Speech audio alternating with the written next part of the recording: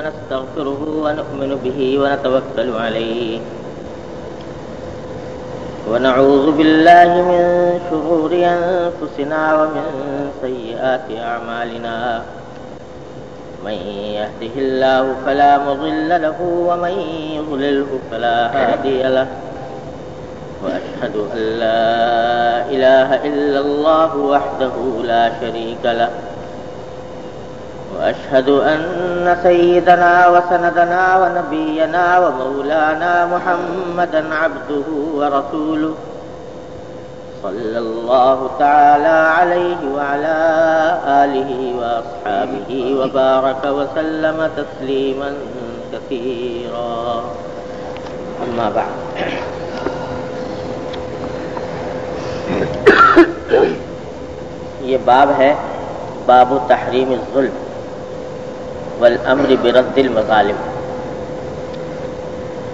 यानी जुल्म के हराम होने के बयान में। और अगर किसी शख्स ने जुल्म किया हो तो उसकी तलाफी करने के बयान में। इतफाक़ से यह सारे अब्बाब अल्लाह नबी रहमत हकूक़ुल इबाद से मुतल बार बार कायम फरमा रहे मैंने शुरू में यह अर्ज़ किया था कि ये किताब जो हम पढ़ते हैं, अल्लामा नबी रहमत ने तसवुफ़ और तरीक़त और सलूक और एहसान इसके बयान के लिए लिखी है। लेकिन काफ़ी दिनों से सिलसिला चल रहा है, इसमें हकूक़ुल इबाद के मुख्तलिफ़ पहलुओं के बयान का। तो बाज़ लोगों के दिल में ये ख्याल पैदा होता है कि ये ये तो कुछ और मसला शुरू हो गया।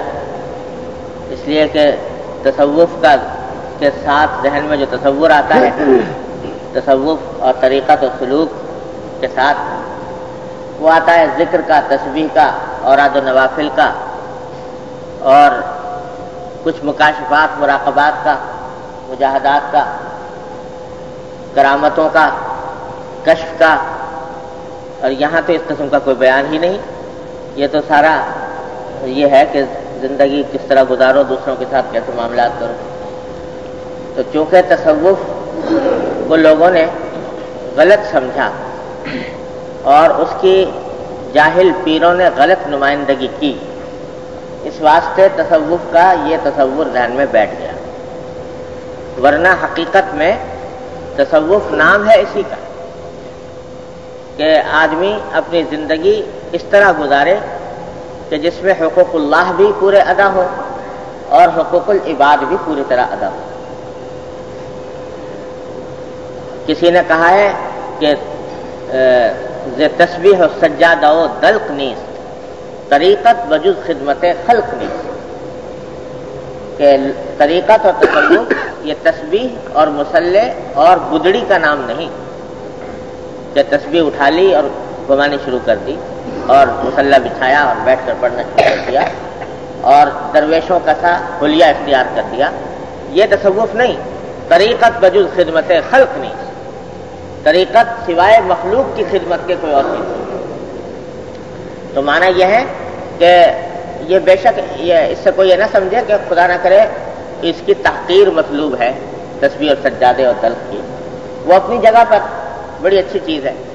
लेकिन उस को मुनहसर समझ लेना, दीन को या तसवुफ को इन चीज़ों के अंदर, ये ठीक नहीं। बल्कि ये अर्ज़ कर चुका हूँ कि अगर कोई शख्स सारी उम्र, ज़िंदगी भर, एक नफल ना पढ़े, नफली और मुस्तहब इबादत एक ना करे, बस फ़रायद और वाजिबात और सुन्नत मक्दा पर इतफा करें। और साथ में गुनाहों से परहेज करे। अल्लाह ने जो बंदों के हकूक हमारे जिम्मे रखे हैं, उनको ठीक ठीक बजा लाए तो इन सीधा जन्नत में जाएगा। कोई घाटा नहीं। क्यामत में यह सवाल नहीं होगा कि नफली क्यों नहीं पड़ी। थी क्यामत में यह सवाल नहीं होगा कि तस्वीर क्यों नहीं पड़ी। थी लेकिन अगर कोई शख्स नफले बहुत पड़े ज़िक्र बहुत करे, तस्बीहात बहुत पढ़े, लेकिन गुनाहों का इरतकब करे अल्लाह के बंदों के हकूक पामाल करे तो बा, उसके बावजूद इससे उसने बहुत ज़िक्र किया बात मुझे कि बहुत तस्बीहात पड़ी लेकिन लेकिन अल्लाह ताला के यहाँ जाकर अपने उन अमाल का जवाब दे होना होगा। पहले वो अमाल का सिला भुगतना। होगा हदीस में आता है कि नबी करीम सरवर आलम वसल्लम के सामने दो खातून दो औरतों का ज़िक्र किया गया। एक खातून के बारे में बताया गया कि वो खातून दिन रात इबादत करती रहती हैं। इबादत बहुत कसरत से करती हैं। नफलें पढ़ती हैं, ज़िक्र करती हैं, तस्बीहात पढ़ती हैं। और जहाँ वक्त नमाज़ का आता है नमाज़ की पाबंदी नहीं पढ़ती लेकिन साथ साथ गीबत की आदत है। गीबत करती है। और दूसरी खातून का ज़िक्र किया गया कि वो बेचारी कुछ ज़्यादा नफली इबादतें नहीं करती। लेकिन अपनी जबान से कभी किसी को तकलीफ़ नहीं पहुंचाई, कभी गीबत नहीं करती तो दोनों में बताइए कि कौन अफजल है और किसका क्या अंजाम होगा। तो नबी करीम सरवर ने जवाब में फरमाया कि दूसरी औरत जन्नत में है, पहली औरत जहन्नम में दूसरी औरत जिसने बावजूद कि ज़्यादा इबादतें नहीं करती, लेकिन हुकूक बजा लाती है। हुकूक अल्लाह के भी और अल्लाह के बंदों के। तो वो जन्नत में है। और जो औरत इबादतें बहुत करती है, मगर हुकूक पामाल करती है, गीबत करती है, वो फरमाया, वो जहन्नम इतना मामला है। इमाम मोहम्मद रमत आपने शायद नाम सुना होगा, हज़रत इमाम अबू हनीफ रमत के बड़े दर्जे के शागिर्द हैं। और हमारे पास जो फ़िक्र हनफी पहुँचा है, वो सारा इमाम मोहम्मद रमत के ज़रिए पहुँचा है। इमाम मोहम्मद के ज़रिए। क्योंकि इमाम वनीफ रमत ने बरह रास्त अपनी किताबें नहीं लिखी। लेकिन उनके शागिर्द थे इमाम मोहम्मद।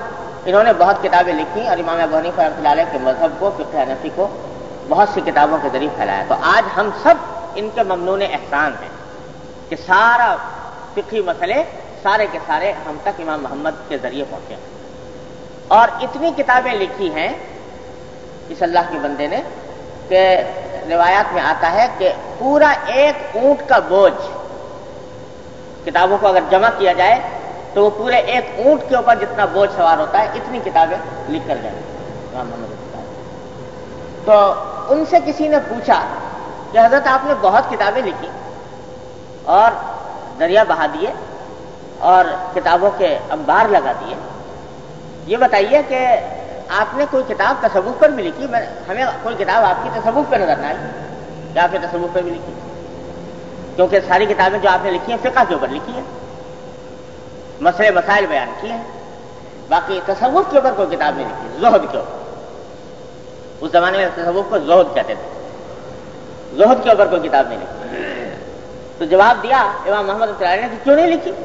मैंने तो दसियों किताबें तसवुफ पर लिखी है। पूछा कौन सी? कहा कि किताबुल बुयू यानी वो किताब जिसके अंदर मैंने तिजारत के अहकाम बयान किए हैं कि कौन सी तिजारत हलाल है, कौन सी हराम है। किस तरह बेचना जायज़ है, किस तरह नाजायज है। ये बैव शिरा के अहकाम, ये सारे की सारी किताबें तसवुफी की तो है। तसवुफ को खुदा ने तुमने क्या समझ लिया कि तसवुफ जो है, वो कोई माफोकल फितरत चीज़ है और वहाँ से नाजिल हुई है। ये सारी तसवुफ पर तो दर हकीकत तसवुफ का, या तरीकत का, या सलूक का, या दीन का बहसत मजमू ये महदूद तस्वुर ये बड़ा गलत तस्वुर इसलिए इमाम नबी रमत तसवुफ की है ये किताब इस माने में कि इसमें अहादीस सारी तसवुफ से मुतल दर्ज की हैं।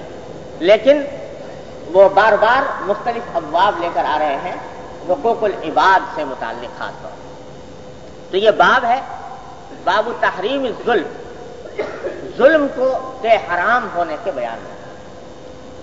और इसमें को आगाज़ किया है दो आयतों से।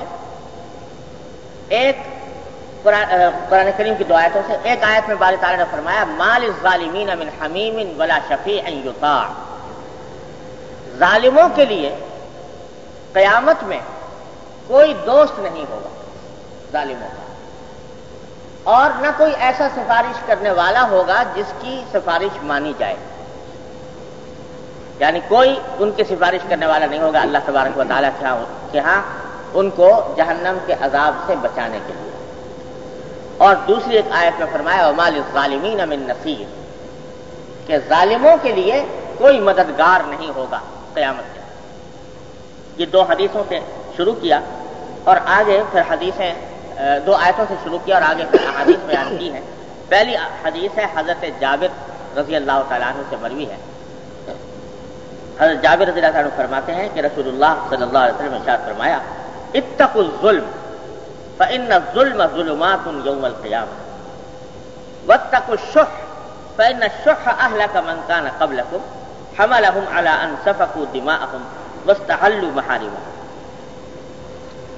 फरमाया रसूलुल्लाह सल्लल्लाहु अलैहि वसल्लम ने कि इत्तकुल जुल्म जुल्म से बचो।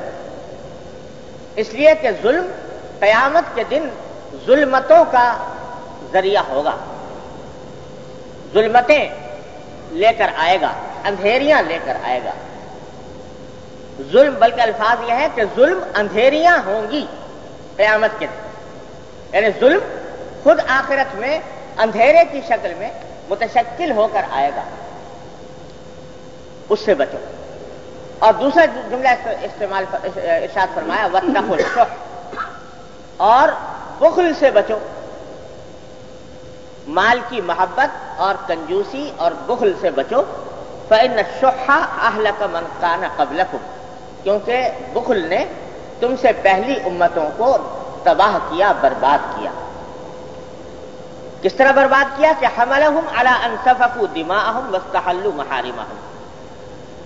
इस बुखल ने उनको बरंगेजता किया इस बात पर कि वो आपस में एक दूसरे के खून बहाएँ और उसकी वजह से उन्होंने हराम चीज़ों को हलाल कर लिया, हराम कामों का इरतकाब शुरू कर दिया। तो उसके नतीजे में सब हलाक हुए, तबाह बर्बाद हुए। तो दो चीज़ों से बचने का रसूलुल्लाह सल्लल्लाहु अलैहि वसल्लम ने हुक्म दिया इस हदीस में। एक जुल्म से और एक बुखल से। दोनों के बारे में थोड़ी सी तफसील और तशरी अर्ज़ कर दूँ। जुल्म किसे कहते हैं पहले ये समझ। जुल्म क्या चीज़? जहन में हमारे आम तौर से जुल्म यह आता है कि कोई शख्स किसी को नाहक मारना शुरू कर दे, उसकी पिटाई विटाई करे तो यह जुल्म होगा। और इसी को जुल्म समझते हैं आमतौर लेकिन खूब समझ लीजिए कि शरीयत की इस्तेलाह में जुल्म सिर्फ़ मारपीट के साथ मखसूस नहीं। जिसमानी तकलीफ़ किसी को नाहक पहुँचाने के साथ मखसूस नहीं। बल्कि अगर आप कोई भी लुगत उठाकर देखें अरबी जबान की तो जुल्म के माना लिखे हैं वज़ी गैरी महल ही कि किसी भी चीज़ को बेजगह इस्तेमाल करना यह है जुल्म। किसी चीज़ को बेजगह इस्तेमाल करना जिस जगह के लिए वो चीज़ वजह नहीं हुई, जिस जगह, जिस चीज़, जिस काम के लिए उसको बनाया नहीं गया, उसमें उसको इस्तेमाल करना यह है जुल्म लगवी माना है ये, लुगत के अंदर लिखे हुए मसलन, कोई शख्स एक जानवर को किसी ऐसे काम में इस्तेमाल करता है जिसके लिए वो पैदा नहीं हुआ। तो ये भी जुल्म है। ये भी जुल्म। सही बुखारी में हदीस आती है कि एक मरतबा नबी या करीम सरवर आलम ने इशाद फरमाया, साहब कराम की महफिल थी तो उसमें आ सल्लल्लाहु अलैहि ज़िक्र फरमाया कि पिछली उम्मतों में एक शख्स था, उसके पास एक गाय थी तो उसने उस, वो गाय इस काम के लिए थी कि उससे हल चलाता या या उससे दूध इस्तेमाल करता उसका। तो एक दिन उसने क्या किया कि उस गाय को सवारी बनाकर और उसके ऊपर बैठ गया। जैसे घोड़े पर बैठते हैं, उस तरह बैठकर उसके ऊपर सवारी शुरू कर दी। तो जब वो उसके ऊपर बैठा तो गाय ने कहा, गाय ने कहा कि माँ खुलिक तू लिहाजा मैं तो इस काम के लिए पैदा नहीं की गई। जिस काम के लिए तुम मुझे इस्तेमाल कर रहे हो, उस काम के लिए मैं पैदा नहीं की गई। गाय ने कहा। साहब कराम साथ जो मौजूद थे उनके चेहरे चेहरों पर ताज्जुब के आसार ज़ाहिर हुए। कि गाय कैसे बोली? गाय के तो बोल जबान नहीं होती, बोल वो बोल नहीं सकती, अपनी बात कह नहीं सकती, उसने कैसे कह दिया कि मुझे इस काम के लिए पैदा नहीं किया गया? तो ताज्जुब के हैरत के आसार ज़ाहिर हुए। तो सरकार जो आलम ने महसूस फरमाया कि साहब कराम को कुछ हैरत हो रही है कि गाय कैसी बोली। तो आपने फरमाया कि तुम्हें इस बात पर हैरत हो रही है कि गाय ने कैसे बात की? लेकिन मैं इसकी तस्दीक करता हूँ और अबू बकर उमर इसकी तस्दीक करते अबू बकर उमर रज़ी अल्लाह तुमा उस मस्जिद में मौजूद नहीं थे। साहब कराम और सारे थे, लेकिन हज़रत अबू बकर, हज़रत उमर मौजूद नहीं थे। फरमाया कि मैं इस पर ईमान लाता हूँ, मैं इसकी तस्दीक करता हूँ और अबू बकर और उमर इसकी तस्दीक करते इससे आप अंदाज़ा लगाइए सरकार दो आलम को। हज़रत अबू बकर, हज़रत उमर पर कितना एतमाद था। कि और लोगों को तो हैरत हो रही है, लेकिन अबू बकर और उमर अगर सुनेंगे तो वो हैरत नहीं करेंगे। जब मेरी ज़ुबान से सुन लिया कि एक मुखबिर साबिक ने खबर दी है कि ऐसा हुआ तो फिर उनके दिल में कोई वसवसा, कोई शक, कोई शुभ पैदा नहीं होगा। अल्लाह ताला ने उनको ईमान का वो मकाम अता फरमा तो मैं तस्दीक करता हूँ, अबू बकर उमर तस्दीक करता इसी वास्ते इमाम बुखारी रब्दुल हदीस को लेकर आए हैं, हज़रत अबू बकर उमर के मनाकिब में। कि हज़रत अबू बकर उमर की बड़ी अजीम शान फजीलत है कि मजलिस के अंदर वो मौजूद नहीं, और नबी करीम वसल्लम उनके बारे में इस भरोसे के साथ फरमा रहे हैं कि वो तस्दीक करते हैं। यानी अगर वो सुनेंगे तो उनको हैरत नहीं होगी। इस वास्ते के रसूलुल्लाह सल्लल्लाहु अलैहि वसल्लम, उनकी शान तो ये थी, अल्लाह। कि जिस वक्त नबी करीम सल्लल्लाहु अलैहि वसल्लम महराज पर तशरीफ़ ले गए। तो हज़रत सिद्दीक अकबर को पता नहीं था कि आप महराज पर तशरीफ़ ले गए।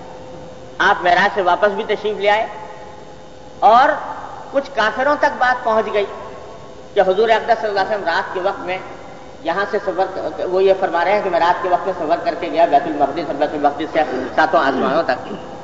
तो लोगों ने मज़ाक उड़ाना शुरू कर दिया। हर्ष मामूद कि देखो क्या ऐसी फजूल बातें कर रहे हैं माजल्ला कि रात को, रात के भर में इतना बड़ा सफ़र तय हो गया और सुबह तक आसमानों तक भी चले गए। तो उनमें से एक काफिर की मुलाकात हो गई सिद्दीक अकबर। सिद्दीक अकबर को अभी तक पता नहीं था कि हजूर सल्लल्लाहु मेराज को तशरीफ़ ले गए थे। उस काफिर ने कहा कि मियाँ, तुम्हारे जिसके ऊपर तुम ईमान लाए हो, पता भी है क्या क्या बातें कर रहे हैं? कहा, क्या बात कर रहे हैं? कहा कि वो ये कह रहे हैं कि आज रात में चंद लम्हों के अंदर वो यहाँ से उठ के बैतुल मकदिस तक चले गए। और सारा, सफ़र चंद लम्हों के अंदर तय कर लिया। ऐसी खिलाफ अकल अकल से खारिज बातें वो तुम्हारे जिसको तुमने पैगंबर बनाया हुआ है वो ऐसी बातें अकल के खिलाफ करते हैं। तो अब अब भी तुम उनके ऊपर उनके पीछे लगे हुए हो। सिद्दीक अकबर ने छूटते ही कहा कि क्या वाकई उन्होंने कहा है कि रात के चंद लम्हों में वो उन्होंने इतना सफ़र किया कि हाँ उन्होंने कहा खुद मुझसे बतलाया। कहा अगर उन्हें कहा है तो मैं ईमान लाता हूँ उसको। इस वास्ते कि ये चंद लम्हों के अंदर बैतुल मकदिस में चला जाना, ये तो कोई बात नहीं। मैं इससे बड़ी बात पर ईमान ला चुका। और वो ये, जो वहाँ से फरिश्ते आते हैं उनके पास आसमसा तो आसमानों से फरिश्ते उनके पास आते हैं, अल्लाह तबारक वाले का पैगाम लेकर। जब मैं इस पर ईमान ले आया तो ये बैतुल मकदिस तक जाना और चला आना, ये तो उससे बहुत मामूली बात। इसलिए मैं उस पर ईमान ये था ईमान। कि अगर कहा है तो गलत हो ही नहीं सकता। तो नबी करीम वसल्लम को इस वास्ते एतमाद था फरमाया कि अगर तुम तुम्हें हैरत हो रही हो तो हो रही हो। अबू बकर उमर अगर मौजूद होते तो वो हैरत ना करते। उनको वो भी मैं भी ईमान लाता हूँ वो भी ईमान लाता तो वाकया तो ये बयान फरमाया कि गाय के ऊपर सवारी शुरू कर दी। तो गाय ने कहा कि मैं इस काम के लिए पैदा नहीं की इशारा इस बात की तरफ़ फरमाया कि यह भी जुल्म है। जुल्म का एक हिस्सा है कि किसी चीज़ को उसके जिस काम के लिए उसको पैदा किया गया, जो उसका मकसद तखलीक है, उससे हटाकर उसको इस्तेमाल करना यह भी जुल्म है। तो जुल्म के लफ्जी माना लुगत में है, किसी भी चीज़ को बेजगह रखना या बेजगह इस्तेमाल करना। और इस्तेलाह में, शरीयत की इस्तेलाह में, जुल्म के माना यह है कि किसी के साथ ऐसा मामला करना, जिससे उसकी हक तलफी हो। बस मुख्तसर तारीफ़ की समझ। कोई भी ऐसा मामला जिससे दूसरे की हक तलफी होती हो, वो जुल्म है। वो जुल्म के मफहूम के अंदर दाखिल है। जो शख्स कोई भी जबान से कोई बात कह रहा है, अपने अमल से कोई काम ऐसा कर रहा है, जिससे कि दूसरे की हक तलफी हो रही है तो ये जुल्म और ये हराम। जुल्म के तमाम वईदें, जो हदीस में अभी आप सुनेंगे इन ताला, वो सारी की सारी वईदें उसके ऊपर सादिक आती हैं, किसी के साथ भी ऐसा मामला जो कि उसके, जिससे उसकी हक तलफी होती हो, ये जुल्म के जता है तो नबी करीम सल्लल्लाहु फरमाते हैं कि इत्तकुल जुल्म से बचो। इसलिए कि यह क्यामत के दिन अंधेरा बनकर आएगा, अंधेरा बनकर आएगा, और क्यामत में सबसे ज़्यादा ज़रूरत है नूर की, आखिरत में सबसे ज़्यादा ज़रूरत है नूर की। अल्लाह जलाल की तरफ़ से। लेकिन यह जुल्म करने वाले, उनको नूर नहीं मिलेगा, उनको अंधेरियाँ मिलेंगी और उनसे बचने की ज़रूरत अब अगर सुबह से लेकर शाम तक की ज़िंदगी का हम जायजा लेकर देखें, कहाँ कहाँ जुल्म हो रहा है? सिर्फ़ यही नहीं है कि किसी को मारकर बाँध कर डाल दिया कमरे में और बंद कर दिया और पिटाई लगानी शुरू कर दी तो ये हो गया जुल्म। बल्कि जिस तरह भी किसी दूसरे का कोई हक इस्तेमाल किया जा रहा है, हक तलफी की जा रही है, वो सब जुल्म के अंदर दाखिल चाहे बाप बेटों पर जुल्म कर रहा है कि बेटे का हक नहीं दे रहा, बेटा बाप पर जुल्म कर रहा है कि बाप का हक नहीं दे रहा, शौहर बीवी पर जुल्म कर रहा है बीवी शौहर पर जुल्म कर रही है, जो अपने हकूक अदा नहीं कर रहे हैं। जो जो हकूक हैं बंदों के उनके की अदायगी अगर नहीं हो रही तो जुल्म हो रहा है। तफसील इंशाला मुख्तलिफ़ सूरतें उसकी अहादीस के अंदर बाप के अंदर आ रही है लेकिन मैं एक अमूमी मतलब अर्ज़ करना चाहता था कि जुल्म की अमूमी तारीफ़ यह है कि कोई भी ऐसा मामला ऐसा काम जिससे कि किसी दूसरे की हक तलफी होती हो वो जुल्म के अंदर दाखिल है जुल्म की सारी आ, सारी वाइदें उसको बता देगा।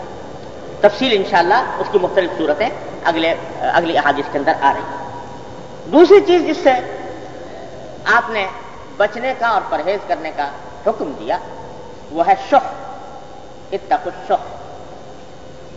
ये शुह के माना है अरबी जबान में। उसका तर्जमा हम उर्दू में बुखल ही से कर सकते हैं। कोई और तर्जमा हमारे पास मौजूद नहीं। इसलिए बुखल से तर्जमा करते हैं। बुखल, कंजूसी कंजूसी। और सही, अगर वह हकीकत इसकी मालूम की जाए तो इसके माना है माल की मोहब्बत। असल चीज़। है माल की इतनी मोहब्बत इतनी मोहब्बत इतनी मोहब्बत कि उसको हासिल करने की खातिर आदमी हलाल हराम एक कर दे अल्लाह का हक पामाल हो तो परवाह ना करे। बंदे का हक पामाल हो तो परवाह ना करे। ये पैसा जहाँ से आ रहा है वो आ जाए किसी तरह। ये जज्बा जब दिल में पैदा हो जाए। और पैसा वो अगर हाथ से किसी तरह निकल गया तो बस गोया जान निकल गई। पैसे का चला जाना और अपने पास से किसी और के पास चला जाना वो आदमी को बहुत गरा महसूस हो बहुत शाख गुजरे। इसका नाम है हुब्बे माल इसका नाम है शौक। माल बताते खुद मम, कोई मजमूम चीज़ नहीं। किसी को अल्लाह ताला ने दिया माल अल्लाह ताला ने दौलत अदा फरमाई उसकी नेमत है। कुरान शरीफ में उसको फजलुल्लाह फरमाया, अल्लाह का फजल। कुरान शरीफ ने उसको खैर फरमाया। खैर, लफ्ज खैर से ताबीर किया, खैर के माना अच्छाई। तो अल्लाह ताला की नेमत मिल जाए, अल्लाह तबारक वाली की तरफ़ से जायज़ तरीके से, हलाल तरीके से मिल गया तो अल्लाह ताला की नेमत है, अल्लाह ताला का फजल है, खैर है।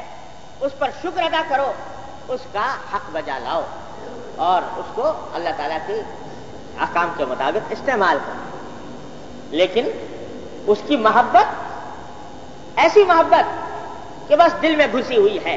सुबह से लेकर शाम तक, शाम से लेकर सुबह तक, सिवाय माल की हासिल करने की, धुन के कोई और ख्याल दिल में नहीं आता।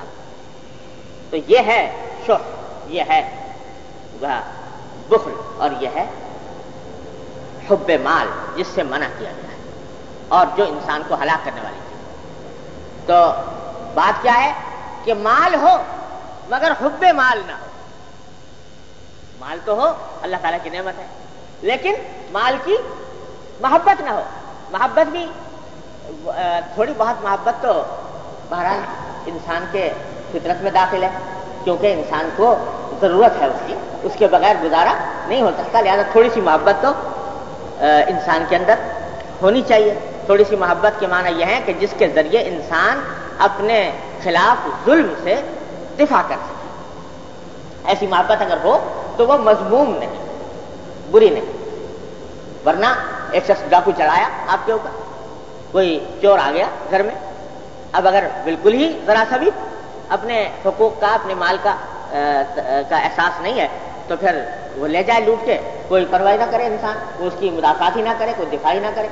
तो इतनी थोड़ी बहुत मोहब्बत कि जिससे इंसान वो दिफा कर सके अपने खिलाफ जुल्म का, वो भी मजमूम नहीं। अगर चाल्ला वाले ऐसे भी हुए हैं कि उनको इतनी भी नहीं होती थी। इस वास्ते कि उनको, उन्होंने अपने आप को इतना मिटा लिया मिटा लिया अल्लाह तबारक वाली की मोहब्बत में कि दूसरी कोई मोहब्बत दिल में दाखिल होती ही नहीं, किसी तरह।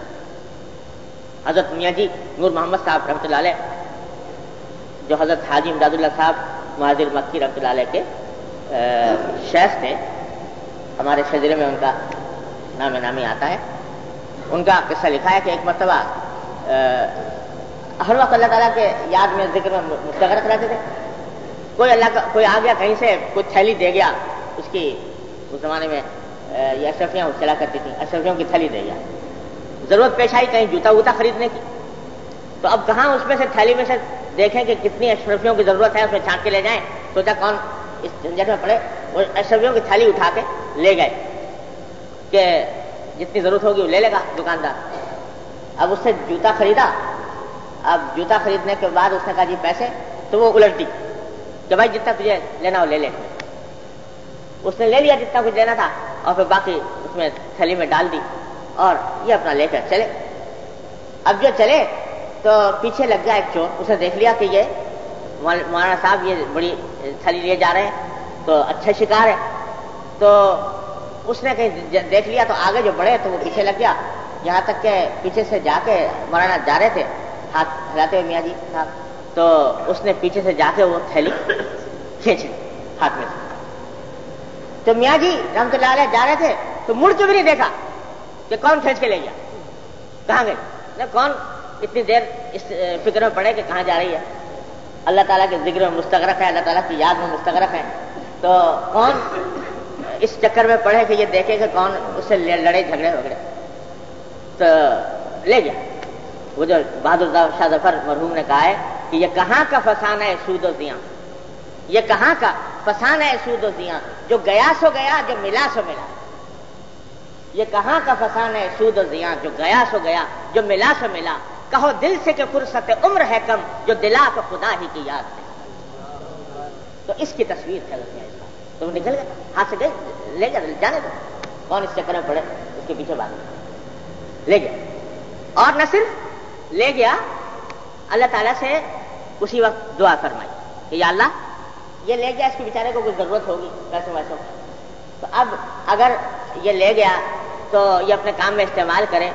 तो और चोरी करने का इसको गुनाह मिले तो मुझे क्या फ़ायदा? पैसे तो मेरे चले गए।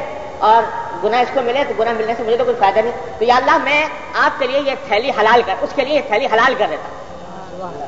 उसको सदका कर दिया ताकि वो थैली उसके लिए हलाल हो जाए। और वो जो खाए तो हराम ना खाए। ये हलाल। यहाँ तो मियाँ साहब ने ये किया। अब वो जो चोर साहब चले आगे तो अल्लाह ताला के नेक बंदे थे, अल्लाह तबारक ताला के वली थे, उनके साथ ऐसा मामला किया। तो अल्लाह ताला की तरफ़ से आजाब उसके ऊपर यह नाजिल हुआ कि अब वो निकलना चाहता है रास्ता नहीं मिलता जाना चाहता है वापस अपने घर। अब गलियों में टामक टूया मारता फिर रहा है, कभी इस गली में, कभी उस गली में, रास्ते नहीं मिलता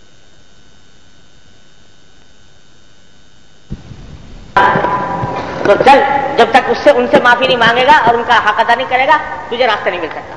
तो दिमाग में कुछ ख्याल आया, वापस मुड़ा।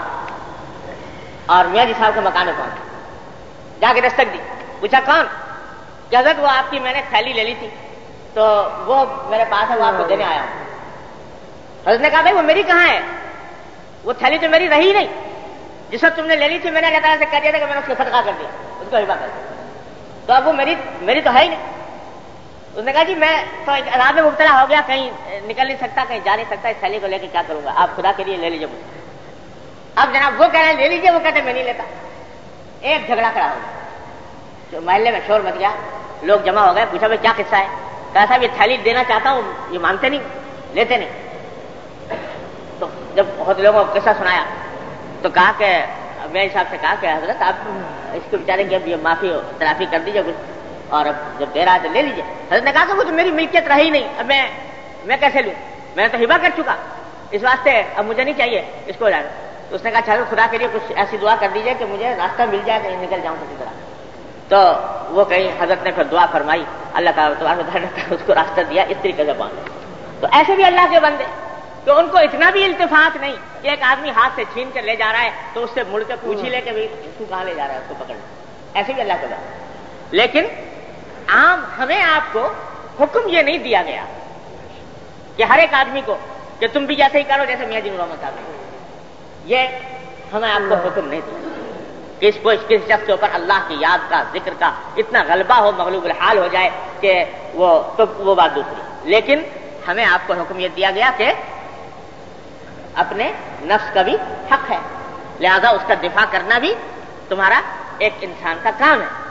और इसी वास्ते अगर फारूक आज़म रज़ी अल्लाह से के बारे में कहा गया कि ऐसे साहब थे ये कि ला यखदा वला युखदा। न किसी को धोखा देते न किसी से धोखा खाते। धोखा भी देना भी नहीं और धोखा खाना भी नहीं। तो एक आम जो हुक्म हमारे आपके लिए है, वो ये कि दिफा कर सकते हैं। लेकिन उस दिफा के लिए जितने ताल्लुक की ज़रूरत है, वो माफ़। उतना तो इंसान के अंदर फितरत में दाखिल है। लेकिन उससे आगे ऐसी मोहब्बत दिल में सरायत कर गई माल की, कि अगर मिल गया किसी ना किसी तरह जिस तरह भी मिला, हलाल तरीके से मिला, हराम तरीके से मिला, दूसरे का हक मार कर मिला, जुल्म करके मिला तो अगर लेने की फ़िक्र में है, ऐसा ये मोहब्बत बिल्कुल हराम है।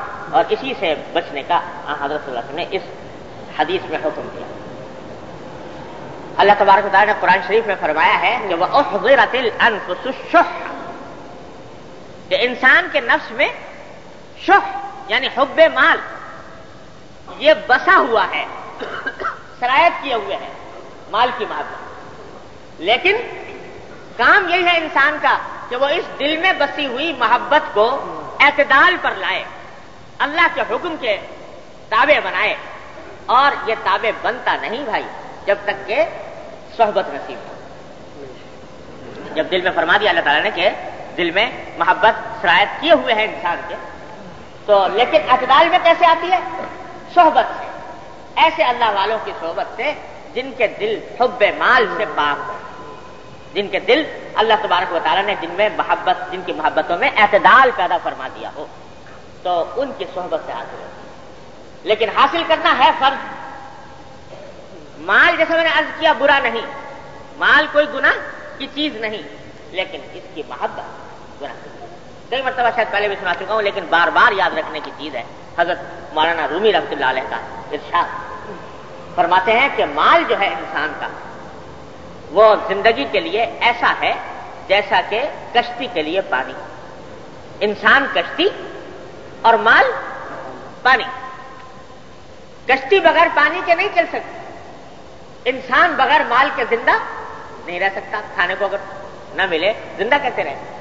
तो जिस तरह पानी के बगैर कश्ती नहीं चल सकती इन माल के बगैर इंसान ज़िंदा नहीं रह सकता। लेकिन ये पानी उस वक्त तक रहमत है कश्ती के लिए, जब तक के कश्ती के चारों तरफ़ इर्द गिर्द। उस वक्त तक तो कश्ती के लिए रहमत है, कश्ती को चलाता है, धक्का देता है। लेकिन अगर ये पानी जो इर्द गिर्द है, वो वहाँ से उठकर कश्ती के अंदर दाखिल हो जाए तो उस कश्ती को डबो देगा।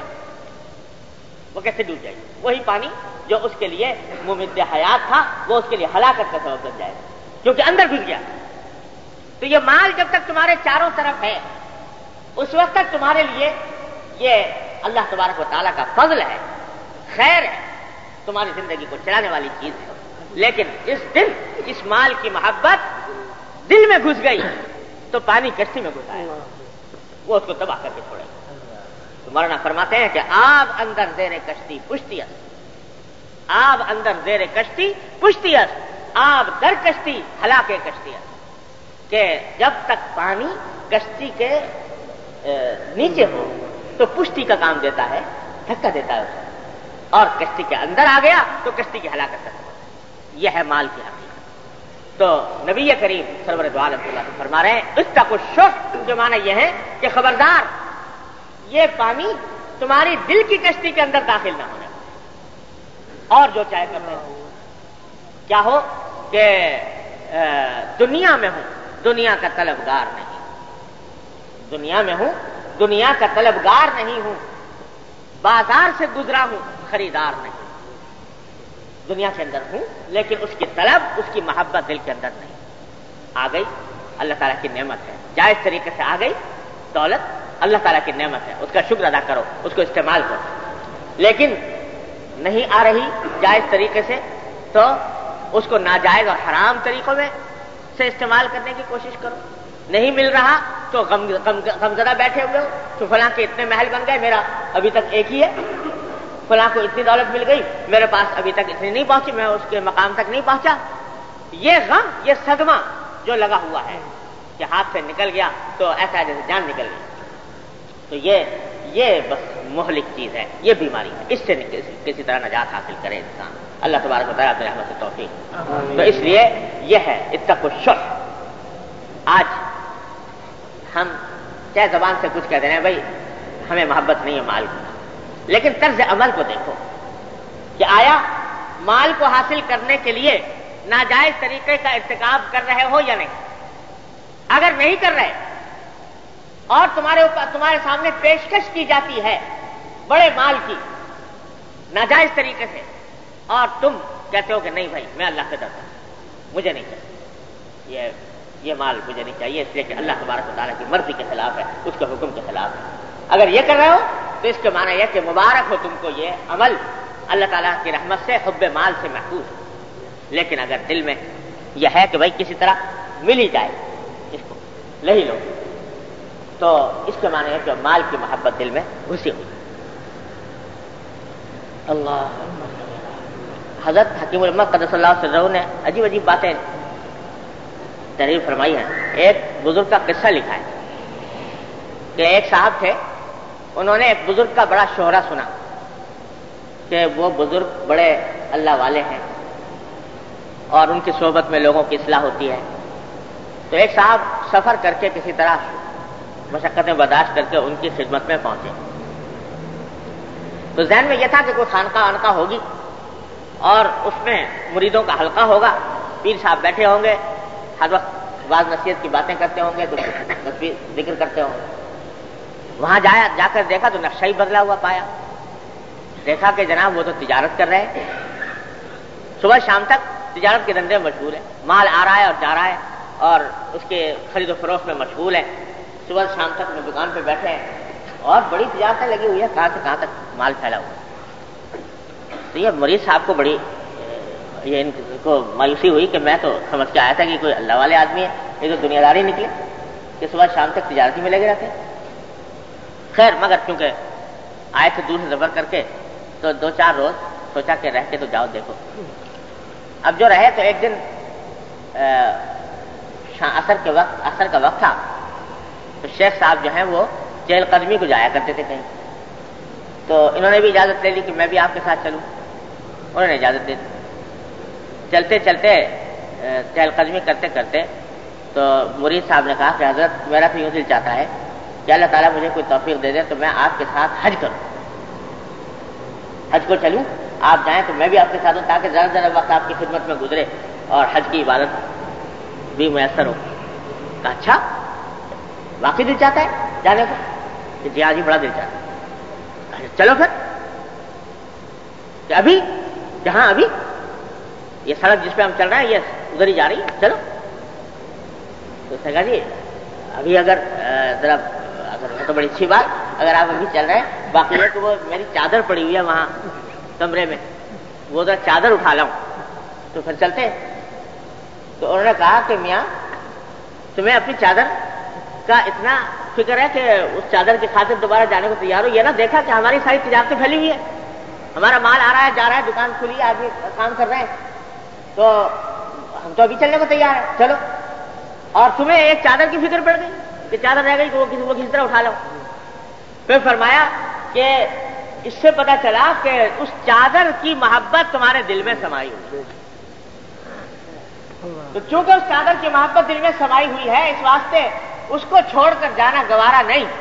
वो चादर तुम्हारे लिए दुनिया है। वो चादर तुम्हारे लिए हब्बे माल का, का सबब है। और अल्हम्दुलिल्लाह ये सारी तिजारतें जो मेरी फैली हुई हैं तिजारतें फैली हुई ज़रूर है। लेकिन अल्हम्दुलिल्लाह इनकी मोहब्बत एक हब्बा दिल में नहीं है। और जिस वक्त चाहूँ उनको छोड़ के जा सकता हूँ। तो वो अल्हम्दुलिल्लाह मेरे लिए दुनिया नहीं और ये चादर तुम्हारे लिए दुनिया। तो छोट थोड़े बहुत का मसला नहीं। मसला यह है कि दिल में है कि नहीं। दिल में है तो दुनिया है और दिल में नहीं है तो चाहे जितनी भी हो तो दुनिया नहीं। मेरे वालिद माजिद कदस अल्लाह ताला फिर रहू। अल्लाह ताला उनके दर्जात बुलंद फरमाएँगे। जब आ, हम पाकिस्तान बना देवबंद से रुखसत होने का वक्त आया तो उससे पहले हज़रत वालिद साहब कदस अल्लाह को बचपन से बाघ का बड़ा शौक था। और बाघ भी आम का। आम का बड़ा शौक था फलों में। तो आम के बाग का बड़ा शौक। तो शुरू में तंगी थी माली तो इस वास्ते कोई बाग वगैरह नहीं लगा सके थे। तो आखिर में अल्लाह ने कुछ थोड़ी सी वसत अदा फरमाई तो बाग बनाया और घर का बड़ा शौक था तो अलहमदिल्ला घर भी अल्लाह ने अपना अदा फरमाया, बाग बनाया आम का। और मुझे याद है कि हर रोज असर के बाद हज़रत वाले साहब असर से मगरब तक का वक्त वहीं बाग के अंदर गुजारा करते थे, उसकी देखभाल में, उसकी। अल्लाह। तो इतने में जनाब पाकिस्तान बन गया और हिजरत का इरादा हो गया। तो जिस साल हिजरत का इरादा हुआ तो पहला फल आ रहा था, बाग के ऊपर। फूल आ रहा था। और पहली बार फूल आ रहा था। तो लेकिन इरादा हो गया हिजरत का तो भाई जाना है यहाँ से। पाकिस्तान छोड़ के चले आए। तो वाले साहब एक जुमला फरमाया करते थे कि अल्हम्दुलिल्लाह, मैं बारहा अपने दिल को टटोल चुका हूँ। जिस दिन मैंने अपने घर और बाग से कदम निकाला, बाग और घर मेरे दिल से निकल गया। उसके बाद, वहाँ से निकलने के बाद कभी याद भी नहीं आया कि क्या चीज़ छोड़कर आए। अल्हम्दुलिल्लाह, फरमाया बार बार टटोल कर अपने दिल को देख चुका हूँ। उसका कोई ऐसा हुआ जैसे कि उधर।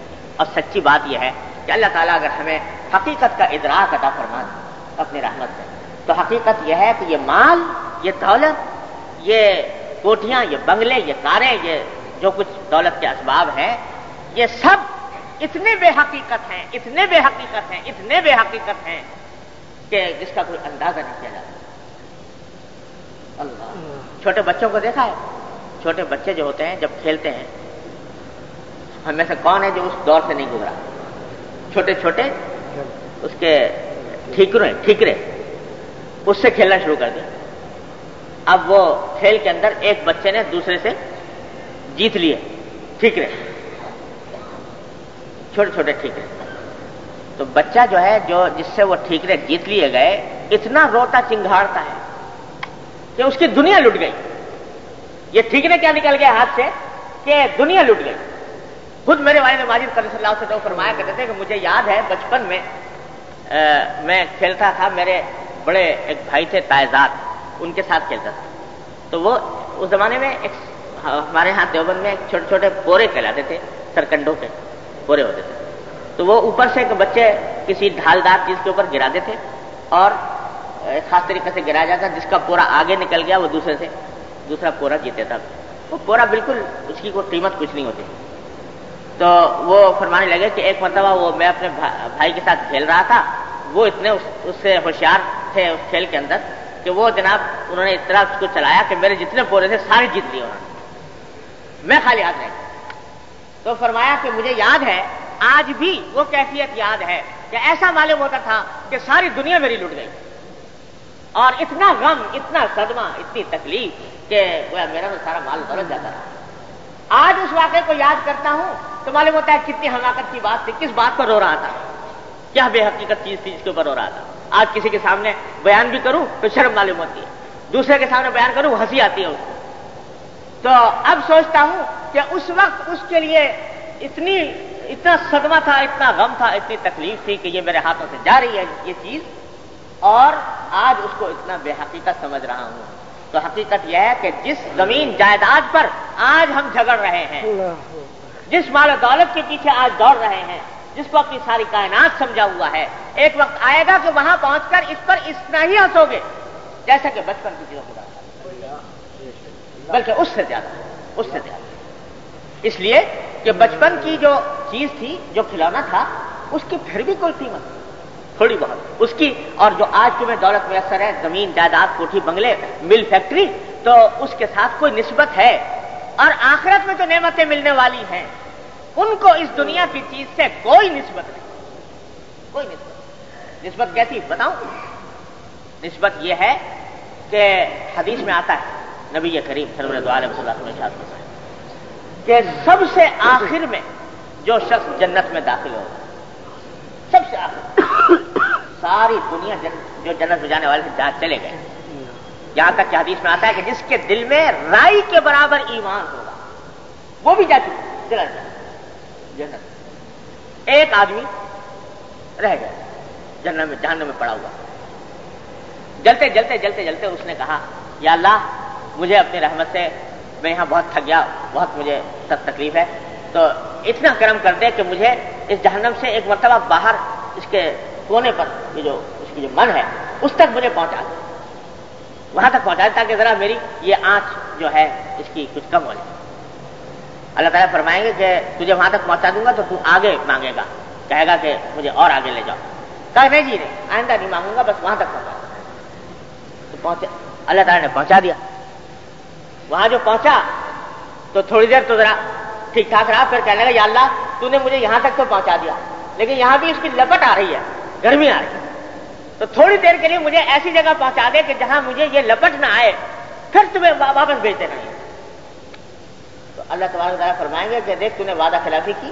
पहले तू कह रहा था कि मुझे आगे ही नहीं मांगूँगा, और अब तू फिर कह रहा है कि आगे ले जाऊँ। फिर वहाँ जब ले जाऊँगा तो कहेगा और आगे ले जाओ तो कहा नहीं जी, बस यहाँ तक तो कह दिया आप आगे नहीं कहो अल्लाह ताला उसको वहाँ तक ले जाएँगे, जहाँ उसकी लपट नहीं आ रही हो तो वहाँ उसको एक दरख्त नज़र आएगा सामने। क्या कहा अल्लाह, तूने मुझे यहाँ तक जहनम की आग से निकाल दिया, यहाँ तक पहुँचा दिया तो सामने जो दरख्त नज़र आ रहा है, इसके नीचे बड़ी ठंडी हवा चल रही है, थोड़ी देर के लिए वहाँ पहुँचा। तो वहाँ अल्लाह ताला फिर वही फरमाएँगे कि तूने फिर वादा खिलाफी की, फिर मांगेगा आगे, फिर तोबा तिल्ला करेगा। अल्लाह ताला फरमाएँगे अच्छा ले जाओ, चल, ले वहाँ तक पहुँचा। वहाँ जब पहुँचा तो जन्नत नज़र आने लगी, सामने। तो वहाँ जाके कहेगा कि अल्लाह, तू इतना मेरा इतना करीम इतना रहीम है कि तूने मुझे वहाँ से निकाला। तो जब यहाँ तक पहुँचा दिया तो ये जन्नत कितनी दूर रह गई थोड़ा सा। मुझे इसकी सैर करा दी इस जन्नत की।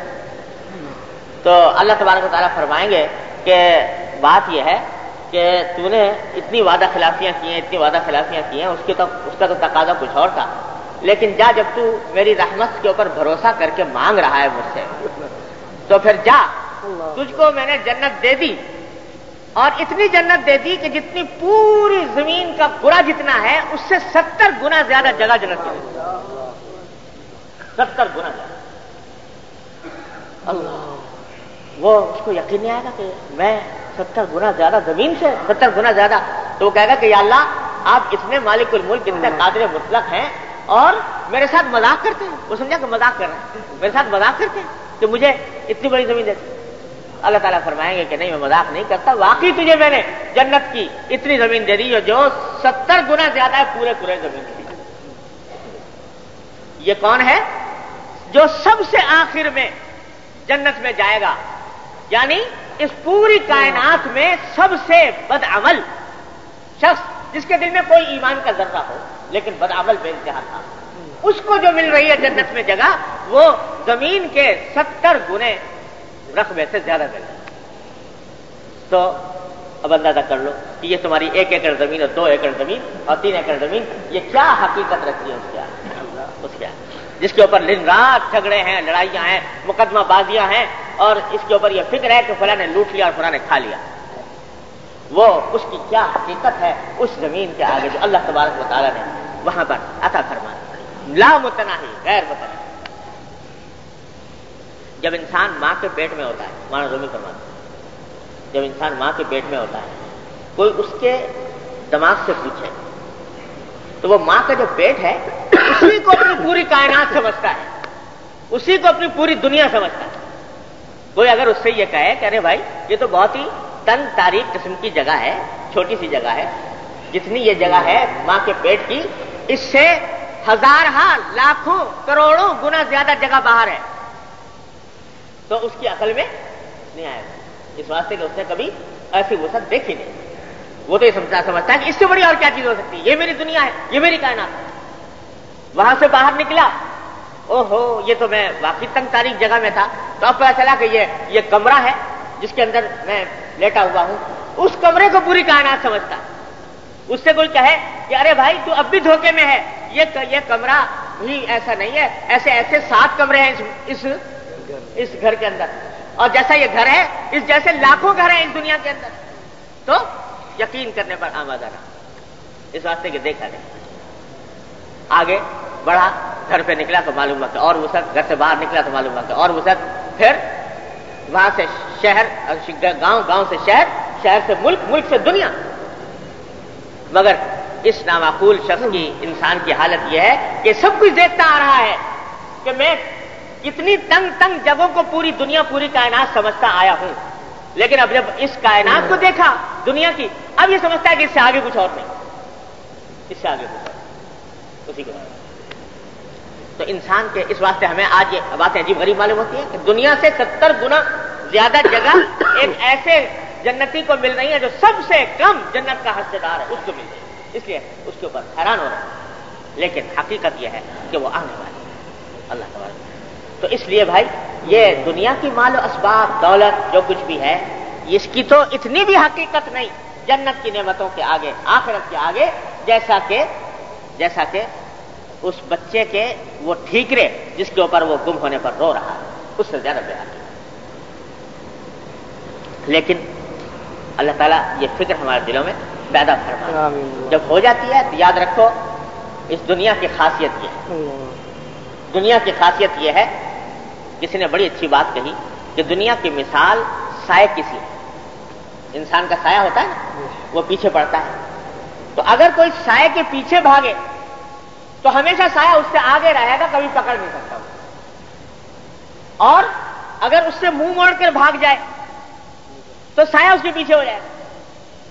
वो साया उसके पीछे पीछे भागेगा। तो दुनिया की हालत यह है कि उसको अगर तुम पकड़ना चाहोगे, उसके ताकुब में रहोगे, उसके पीछे भागोगे, वो तुमसे भागेगी। भागेगी भागेगी। और जिस दिन तुमने एक मरतबा सच्चे दिल से मुँह मोड़ लिया उसकी तरफ़ से, मुँह मोड़ लिया कि अल्लाह के हुक्म के खिलाफ ये दुनिया बेहकीकत तो वो तुम्हारे पीछे इस तरह भागेगी, इस तरह भागेगी, तुम्हारे कदमों में आकर गिरेगी, जलील होकर आएगी। हदीस में फरमाया नबी करीम ताती ही दुनिया वही राह दुनिया उसके आगे जलील होकर आती है। जो एक मरतबा उसको सच्चे दिल से ठोकर मार। लेकिन सच्चे दिल से मार कि ये मुझे इसकी मोहब्बत नहीं चाहिए। फिर जो मिल जाए वो अल्लाह ताला की नेमत है अल्लाह ताला का इनाम है उसका करम है उसको इस्तेमाल करें उसके ऊपर शुक्र अदा करें। इस तरह यह है हकीकत ये उस हदीस की जो नबी करीम द्वारा फरमा रहे कि शुह को छोड़ मोहब्बत दिल से निकाल और बुखल को छोड़। ये सोचो कि चंद दिनों की ज़िंदगी है।